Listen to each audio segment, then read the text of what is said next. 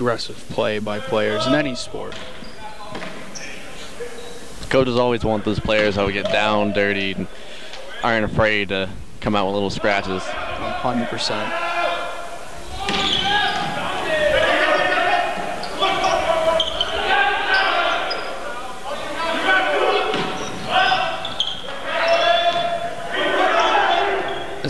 The Lions just have to hit it over to keep the ball alive. And Lance Law comes in with a vicious kill. Aggressive play by players in any sport.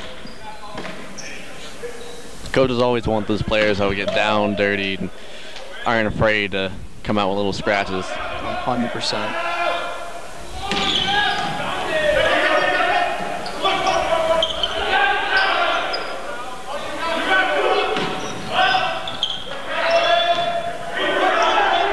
The Lions just have to hit it over to keep the ball alive. And Lance Law comes in with a vicious kill. Number 11, Andre Foster, ready to serve again.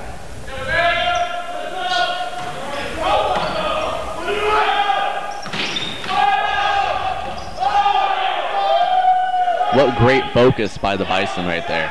Blocking Tim Edding twice back to back and then capitalizing on it. And Sean Jackson getting the kill. The Bison can capitalize with their turn of the ball.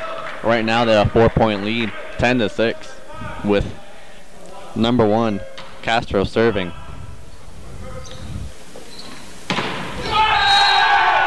Right there, the Bison finally connect on a beautiful block attempt.